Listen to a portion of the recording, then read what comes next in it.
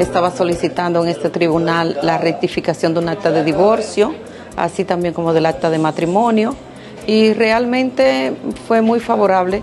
El tiempo de duración fue alrededor de cuatro meses, por lo que sinceramente estoy muy agradecida de este tribunal.